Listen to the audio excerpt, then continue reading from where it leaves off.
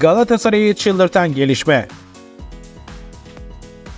Dünyaca ünlü yıldızların transferleriyle yankı uyandıran Galatasaray'da sıra ayrılacak isimlere geldi. Şu anki durumda 15 yabancısı bulunan Sarı Kırmızılılar kural gereği bir yabancı oyuncusunu göndermek zorunda. Teknik direktör Okan Buruk ile yönetim arasında yapılan görüşmeler sonucu takımda düşünülmeyen isme bu karar iletildi. Teklifi kabul etmeyen yıldız futbolcu krize neden oldu. Transferin son anına kadar anlaşmaya yanaşmadığı takdirde o ismin lisansı dondurulacak. İşte yaşanan flash gelişmelerin detayları. Son olarak Endombele ve Davinson Sanchez'i kadrosuna katan Aslan iki yıldızı da Devler Ligi kadrosuna kaydettirdi. Transferi büyük ölçüde kapatan Cimbom'da gözler ayrılacak oyunculara çevrildi. Teknik direktör Okan Buruk ile koordineli çalışan yönetim kadroda düşünülmeyen isimlere veda edecek.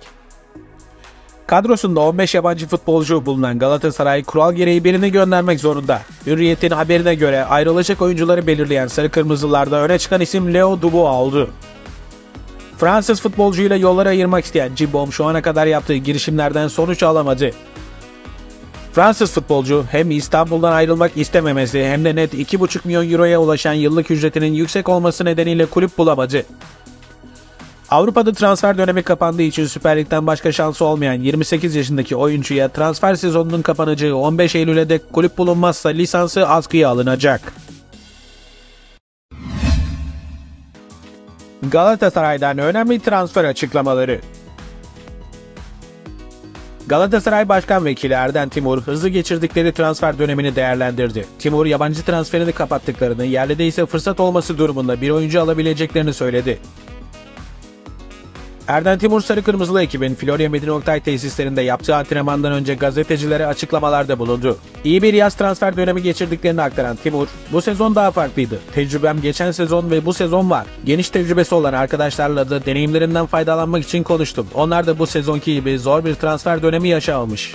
Ortalama fiyat en az 2-2,5 kat arttı. Zor ve fazla uğraştığımız bir sezon oldu. Transfer dönemine çok iyi ve özel hazırlanmıştık. Binden fazla oyuncu incelendi. Suudi Arabistan çıkınca stratejimizi değiştirmek zorunda kaldık. Sonunda gayet güzel bir transfer dönemi oldu. İnşallah sonrakiler bu kadar yoğun olmaz ifadelerini kullandı.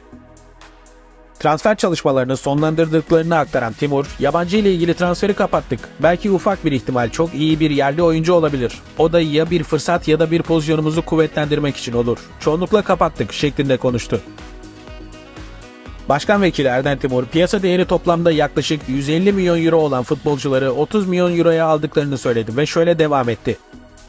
Elimizden geldiği kadar Türk futbolunu ileri götürmemiz lazım. Hepimiz zaman zaman hata yapıyoruz. Hiçbir rakip takım yöneticisinin biz de hata yapıyoruz dediği olmuyor. Bunun değişmesi lazım. Türkiye'deki iklimin güzelleşmesi için bunu yapmamız gerekiyor. Karalama işlerini yapmak çok kolay. Biz bu işlere tenezzül etmek istemiyoruz. Geçmişten beri gelen şeyleri değiştirmek gerek. İfadelerini kullandı.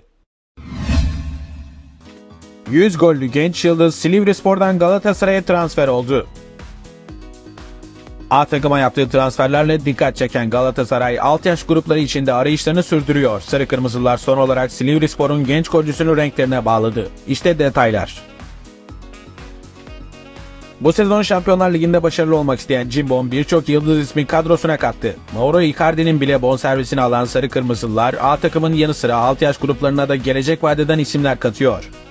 Aslan, Silivrispor'da forma giyen 2007 doğumlu Mustafa Kürşat Tümay'ı ilk olarak deneme antrenmanlarına çıkardı. 15 günün ardından genç oyuncuyu transfer etmeye karar veren Sarı Kırmızılılar, TFF 3. Lig ekibi Silivrispor ile pazarlık masasına oturdu.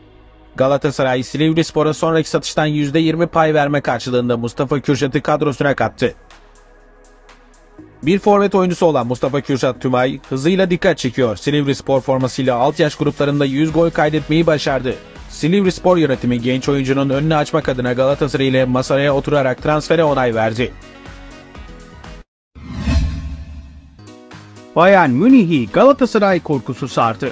Jürgen Klinsmann'dan flash açıklamalar. Alman futbolunun efsane golcülerinden Jürgen Klinsmann, Şampiyonlar Ligi A grubunu değerlendirdi. Şu an Güney Kore milli takımının hocalığını yapan ve geçmişte Bayern Münih'te hem oyuncu hem de teknik adam olarak görev alan Klinsmann'a göre grupta her şey olabilir. Ünlü futbol adamı Bayern ve Cimbom'un yanı sıra Manchester United'la Kopenhagen'da yer aldığı grupla ilgili olarak zor bir grup. Kağıt üstünde Bayern Münih ve Manchester United önde gözüküyorlar ancak Galatasaray'ın da olduğu grupta onların işi hiç kolay olmayacak. ifadelerini kullandı. Galatasaray'ı da değerlendiren ünlü futbol adamı, Galatasaray Avrupa'nın en önemli kulüplerinden biri. Güçlü bir takım. Mauro Icardi gibi önemli bir golcüye sahipler. Çok beğendiğim ve son derece kaliteli bir futbolcu Icardi. Özellikle Galatasaray'ın iç saha taraftar desteği oldukça fazla. Oyunculuk kariyerimden de bildiğim için Galatasaray Almanya'ya geldiğinde de hiç yabancılık çekmeyecektir. Muhtemelen Münih'teki karşılaşmada tribünde 35 bine yakın Türk taraftarı olacaktır. Almanya'daki Türklerin onları yalnız bırakmayacağından eminim. Almanya'daki maç da zor olacak, diye konuştu.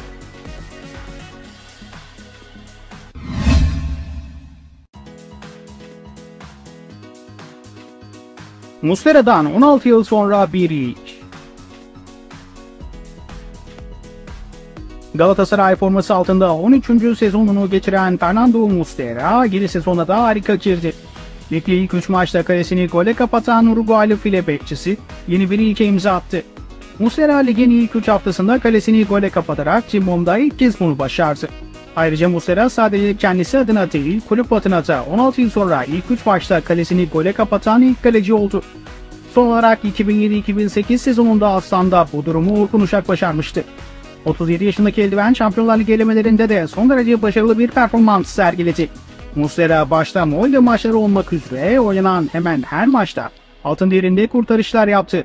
Uruguaylı Yıldız'ın Galatasaray'la olan sözleşmesi bu sezonun sonunda sona erecek.